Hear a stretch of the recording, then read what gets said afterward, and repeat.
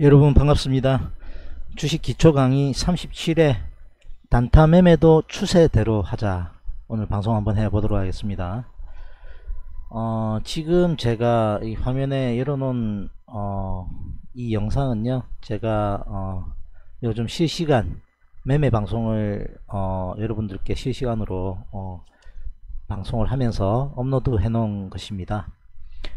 crude oil이거든요. 음, 여러분들 어, 단타 매매라고 하면 어, 하루 안에서 음, 추세의 방향대로 짧게 짧게 어, 지지와 저항 라인에서 매매를 하는 것을 단타 매매라고 정의할 수 있겠죠.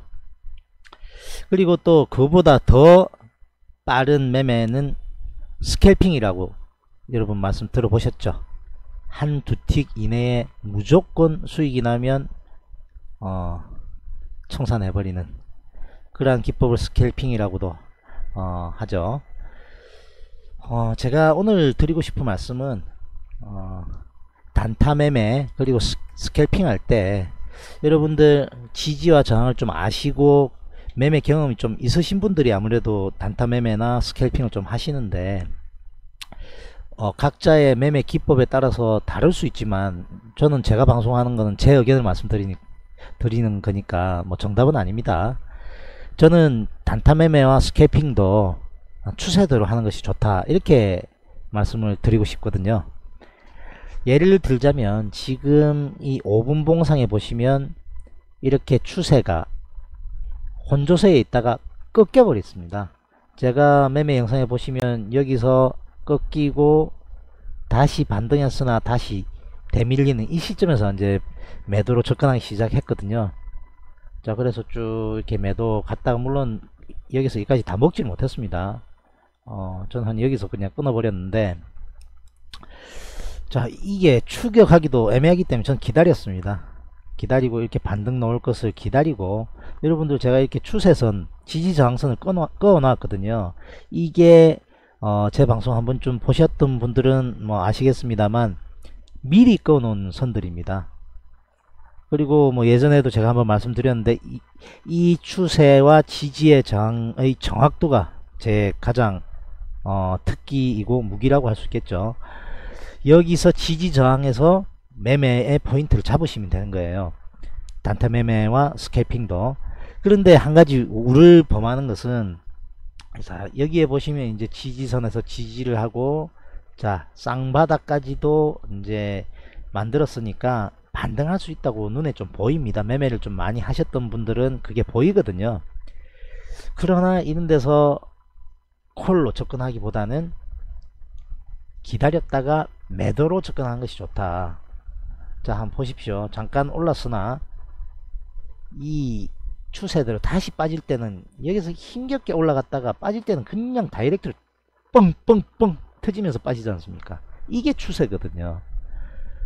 자 발빠른 매매 하신 분들 물론 스캘핑 하신 분들은 한두 틱 내지는 손실도 어, 뭐 짧게 짧게 끊는 분들은 다행입니다만 제가 스캘핑 방송을 올려놓았던 분들을 보면 어, 그분들은 뭐 평균 단가를 낮춘다고 생각을 하시는 것 같은데 제가 보기에는 완전 물타기거든요. 어, 평균 단가 낮추는 것은 추세대, 추세대로 움직이는 것을 어, 저항해서 추가 매수 추가 추가 매수하면 그것은 추가 매수로 그러니까 평균 평균 단가를 낮추는 거라고 어 말해도 무리가 없겠습니다만 역추세로 어 역추세로 빠지는데 계속 어 추가 매수를 한 것은 분할 매수가 아니라 평균 단가를 낮추기 위한 분할 매수가 아니라 그냥 물타기라고 저는 생각이 들거든요. 그래서 벌 때는 잘 벌지만 박살이 날 때는 아주 그냥 있는 거 다 틀리는 것을 수없이 많이 봤습니다. 어, 그래서 단기 매매를 하시는 단타 매매를 하시는 어, 그런 분들도 스캘핑이나 단타 매매도 추세대로 하자. 그것이 훨씬 수익 날 확률이 높다. 그렇게 한 말씀 드리고 싶네요. 자, 그리고 저도 여기서 잠깐 어, 콜을 들어간 적은 있습니다. 매수죠. 그러나 제가 그것은 좀 어, 상황이 다르죠 왜냐하면 제가 여기서 매도로 진입을 했다가 절반을 끊었는데 절반을 제대로 못 끊어가지고 여기에서 다시 대밀릴 때 제가 추가 매수를 했는데 20일을 돌파했거든요.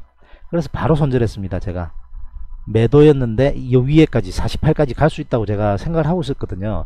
그래서 미련 부리지 않고 바로 20일 돌파하는 순간 제가 한 6틱 정도 손절하고 스위칭을 했습니다. 콜로. 그때 시나리오는 자 48이 저항대일 거니까 48까지는 좀 열려 있는 것 같다. 잘 안 밀리지 않습니까? 여기서 보시면 실시간을 보시면 더 어, 확실하게 보이시는데 이 부위가 잘 밀리지 않습니다. 그렇기 때문에 어, 48 정도까지는 반등이 가능하다고 생각을 했거든요. 그리고 맞았습니다.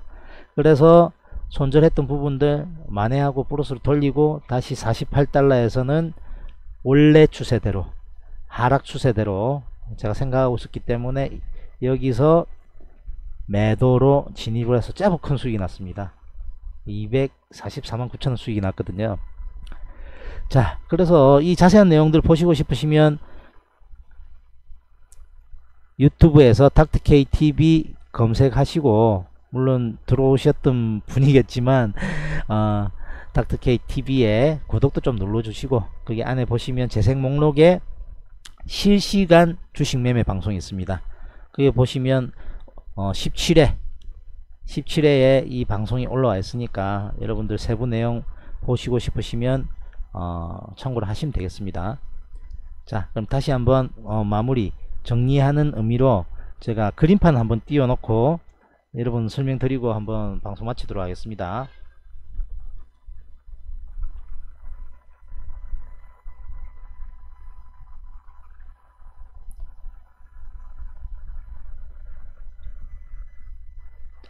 자 단타 매매도 추세대로 하자 자 보시면